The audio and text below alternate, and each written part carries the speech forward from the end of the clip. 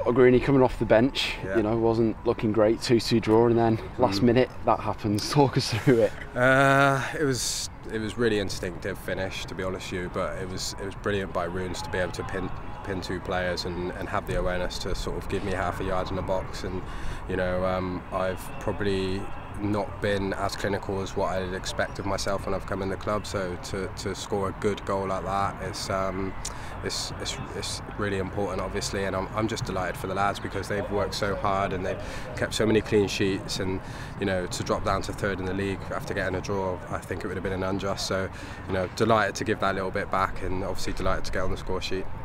And what was the message when you came on? Obviously, coming on from the bench uh, at 2 2. Uh, what was it? Did it just go out? You need to get this? It's just, it was just, you know, where we need to win this game.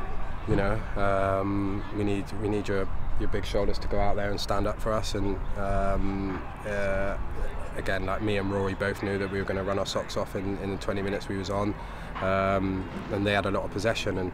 Um, it, it was just, you know, go on and do your stuff. You know, we need you, we need you, and um, you know, it's, it's, I'm just delighted to, to give that back to the manager, who's, who's um, you know, done everything to help me settle and um, to uh, keep his belief in me and um, keep my pecker up. So, you know, I'm delighted to give that back to him as well.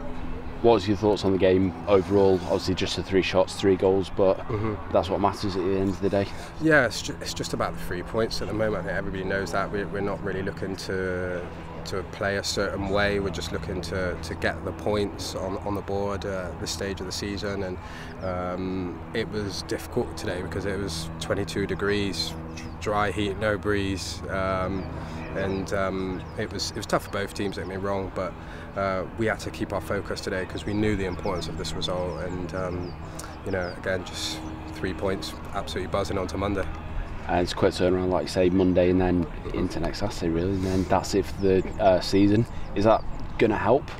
Uh, do, do you know what it is? It's just such a humble bunch of lads. Everyone works so hard. We'll be in, we'll be training. Do you know what I mean? We'll be doing it right, and we'll be giving ourselves the best chance for Monday. Um, for now, we'll probably enjoy, you know, the coach journey home with our fish and chips, uh, uh, and uh, you know, we'll be back at it tomorrow and back at it Sunday, preparing for. A, hu- another huge game on, on Monday, and you know this is the business end of the season now. So, you know, I'm, I'm, this is what I'm here to do, and this is my job. So, um, again, I'm just happy to give a little bit back to the team.